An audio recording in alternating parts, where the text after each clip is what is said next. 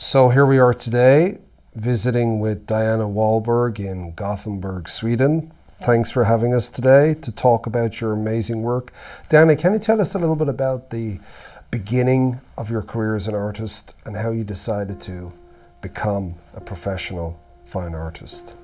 Well, it's a long story, but for 10 years I worked as um, like personal development and intuition and a lot with feelings and stuff. So I wanted to do something more. It started like three years ago and I picked up the brush and paint uh, everything and since then it's just been I can't stop it. I've always known how to paint I think. When I was uh, young at school I did some oil paintings and stuff mm. and they it was very good and but then I just I stopped and I did this 10 years um, personal development and I think it was a long trip to get me where I am today. So when you say personal development, do you mean dealing with people's issues or yes, blocks uh, or things that are holding people back? And do you feel that your art grew out of that? Yes, a lot of uh, soul searching when people are lost and how to be comfortable in their own clothes again and finding their own way. And was there something about your your life or your early childhood in Gothenburg or in Sweden that lent itself to this journey of personal development? I always was a seeker. I always felt that it has to be something more. It's like the soul of an artist. And then in a lot of your painting, there's a lot of iconic figures. We've got Marilyn Monroe, yes. we've got James Dean. Is there something about American culture or American society? I just, then? I love America, but I also love the icons. Uh, they do things that normal people don't do. We have a lot to learn from them. To be successful, whatever that is, is to be uncomfortable. You have to do stuff on your way so you can uh, go where you want to go. Especially in America, it's more, you know them more because you know the Hollywood, the movies, and how I grew up. I saw, I mean, I looked at uh, American films. And, and these icons, like if we take Marilyn Monroe, for example, in this beautiful work yeah. of yours here, it seems that a lot of people, they project aspects of themselves onto these icons? Do you feel that like this is still happening in our society these days? Yes, a lot. And sometimes the icons is misused. You want to look like them, mm but that's not why I'm painting them. I think they are beautiful uh, from the inside and out, and that they are real humans. They also have a bad day or periods of li in life, you know, and depressions, and uh, they go through so many things. So they are very relatable. And in Gothenburg, you said when the sun comes out in Gothenburg. I think it's very romantic city, uh, especially in the spring and summer. In the winter and autumn, it's quite dark. Spring and summer, the town, the people come to life, mm. and it's green, and it's you know we sit outside everywhere. People, if there's sun, there's people. It's a lovely town. When when it's autumn and winter here in uh, Sweden, it's it's it's uh, it's dark, and you have to keep the the energy flowing. There is a line between depression and creativity. Everyone is creative, but the real artist that really works with it, uh, they often have this loneliness and the dark hole within them.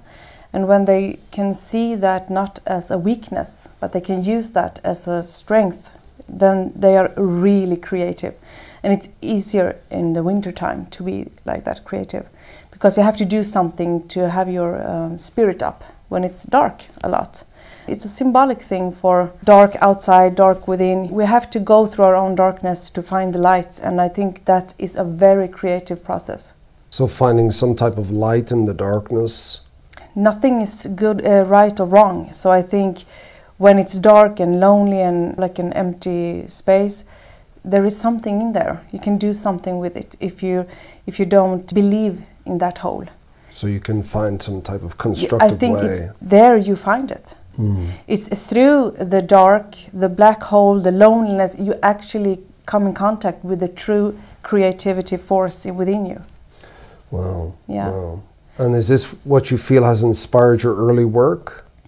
Yes, and I actually believe that I mean I've felt so much emotions in my life so i had to do the 10 years personal development because i need to go through my own darks uh, to, to really know myself so today as an artist i can I know what I want to uh, give out, and uh, sometimes it's going through a very dark thing, and it's but it doesn't come out like that. But that's the process. Do you feel that this is something that every artist goes through? I believe so, but it can uh, have a different course. But I Mm. believe it's you know through the dark comes the light, Mm. or the opposite. Sometimes you start and it's great, and then you fall down to a hole, or wow, wow. you know, it's a process. And I think every human being has it, but in a different kind of way.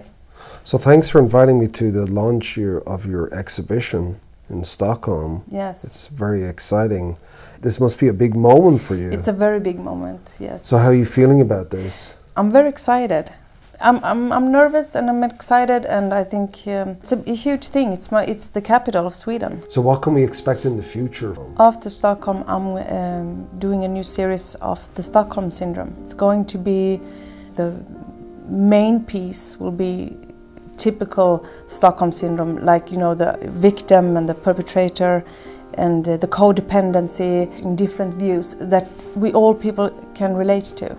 So your new series of work is called the Stockholm Syndrome. Yes. And you're going to explore different facets of the Stockholm Syndrome? Yes, I want it to be relatable because I believe everyone has this within them, you know, a victim and a perpetrator, and uh, some kind of a codependency problem. You're connected to the power uh, in a relationship or uh, Personal power? Yes, I mean, if you look at the Stockholm syndrome, if somebody has a gun, that's some uh, one type of power. But if you come home and you live in a abusive relationships, it's a different kind of power, but it's still a power and it's still the roles, you know, of victim and perpetrator.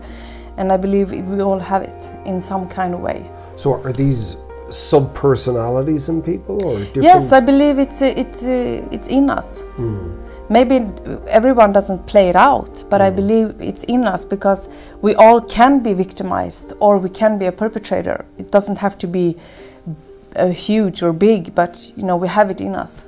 So And is there anything that particularly inspired you for this new series of work? I've been working a lot with people for many years, and we need to uh, be aware of this victim and perpetrating and uh, the codependency. Try to please, and also th- look at ourselves. Why do we like our perpetrators? You know, Wha- wha- what's that? Some of us fall in love with our Yeah. perpetrators. Yes. So maybe that's the victim in you that's uh, driving the car. I see. You see?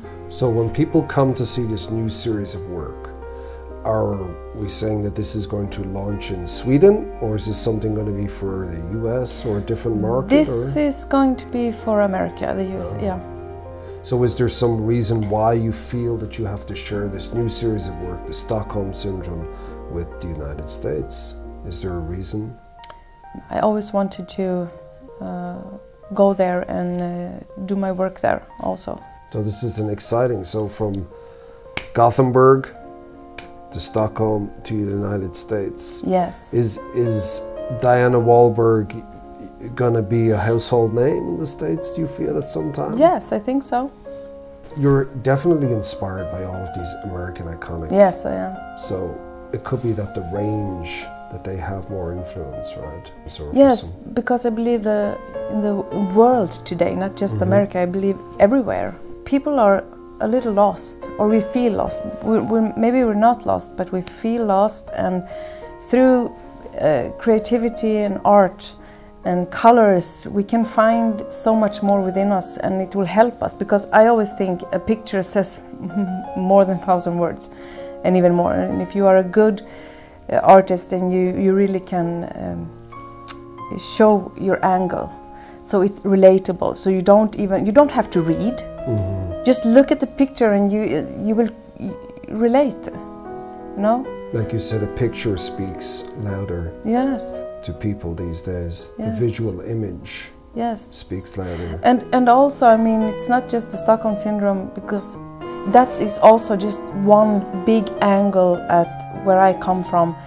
I always in, I want so much more in life than just go up in the morning, go to work, and go home and mm. do the laundry and do. Mm. That's not for me, and I believe there is many people out there, but we, we get stuck in the system and in patterns and and if I can do art that will make you come come alive in yourself through through codependency or through a beautiful icon or whatever. I just want to wake you so you can, you know, be who you are.